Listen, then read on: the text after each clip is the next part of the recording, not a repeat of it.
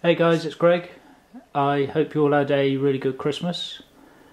Uh, it seems like ages since I've done a video, so I thought I'd just do a quick one today of this book, which I did get as a Christmas present. I happened to mention this to my sister just before Christmas, that was after this book, and she managed to get it for me. I was really surprised when I opened it up because she's got no idea about movie posters or this book, and I literally just mentioned it in passing and she managed to get the right one.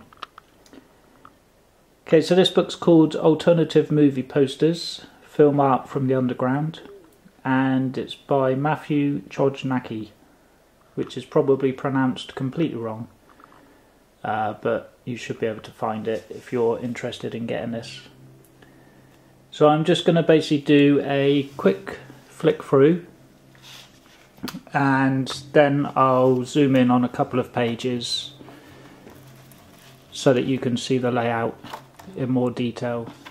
It's a really really nice book, very high quality paper, uh, really nicely laid out and it's full of some really great prints. There's a couple of strange omissions, considering it's a movie poster book. There's nothing in here by Ollie Moss, uh, Tyler Stout, Martin Ansin, for example, which seems a bit strange. Uh, but on the other hand, it does feature a lot of artists that I've never heard of before. I mean, I'm no expert, but it's good to see some posters which I've never seen or heard of, and a couple of them I'd definitely be interested in searching out and buying.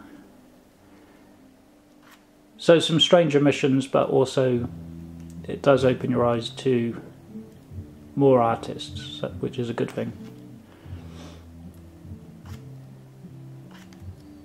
Now, he's tried to pair up most of the posters, so most of them most of the artists will have a two page spread and there's a bit of a write up on each one uh, behind the poster influences. Some of them have a few words from the artist about what inspires them and how they come up with the design. And there's also links to the artists websites if they've got one so that if you like the print you can search out and buy it. Okay, so that's a quick look through so that you can get a basic idea of what the book's like. And I'll just open up to a couple of pages so that you can have a closer look at the layout. Okay, so here we have one of the double page spreads. This is a Jason Edmiston section, and you can see these are his prints for Nightmare on Elm Street, Dream Warriors, and Maniac Cop 2. So most of the book is set out like this with two prints by the same artist on a double page spread. And as you can see down the bottom, it tells you a bit about the posters, uh, the artist influences, a bit about the movies,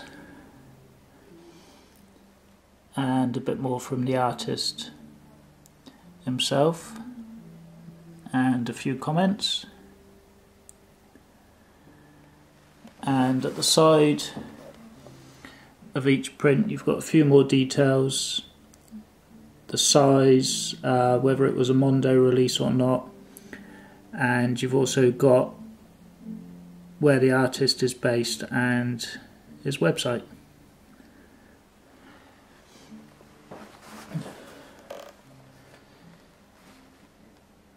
Okay, so let's just have a look at a couple more prints and that will do. Okay, so here's an example of a double page spread which features two different artists.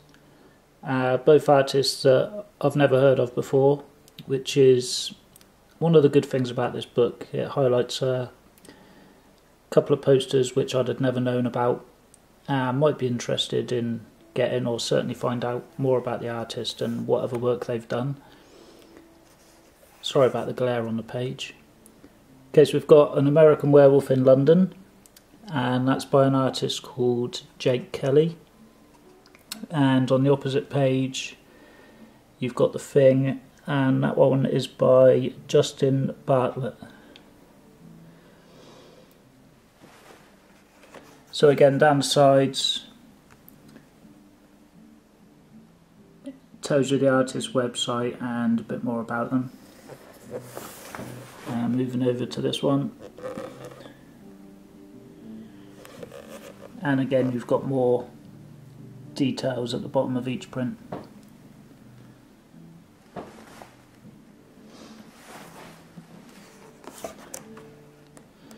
Okay, so that's a. Oh, I also like this print. I think that's a really cool print, and that one's by Rocco Malatesta.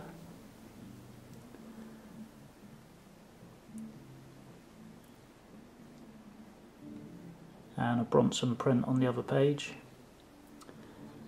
Okay, so that's it. Just a quick look, and I would definitely recommend picking this book up if you've got any interest in movie prints, screen prints, or movies or art in general. Uh, it's pretty affordable. Uh, I'm based in the UK and you can pick it up for under £20. I'll post a link actually in the description where you can get it for the best price. If you've got any questions about it or any comments, just post and I'll get back to you as soon as possible. And thanks for checking out and I might have another video later today. Okay, thanks for watching. Uh, bye for now.